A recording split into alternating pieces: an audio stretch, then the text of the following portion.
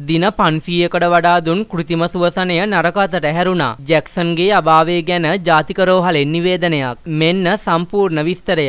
Jackson Anthony මහතාගේ රෝගී තත්ත්වය පසුගිය දිනවල ක්‍රමානුකූලව නරක අතට හැරෙමින් පෙනහළුවල සංකුලතා ඇති වූ බව කොළඹ ජාතික රෝහලේ නියෝජ්‍ය අධ්‍යක්ෂ වෛද්‍ය රුක්ෂාන් බෙල්ලන මහතා පවසනවා. කොපමණ ඔක්සිජන් සහ වෙනත් පහසුකම් ලබා දුන්නත් ඇන්තනී මහතාට තවදුරටත් එම ප්‍රතිකාර දරා ගැනීමට හැකියාව අවස්ථාවක් නොතිබුණු බවයි ඔහු පැවසුවේ. දින 500කට වඩා අධික කාලයක් නිසොල්මන්ම කෘතිම සුවසන පද්ධතියකින් තබාගෙන සිටියදී ඇතිවෙන සාමාන්‍ය සංකුලතා හේතුවෙන් ඇන්තනී මහතා මෙලෙස අභාව ප්‍රාප්ත වී තිබෙනවා.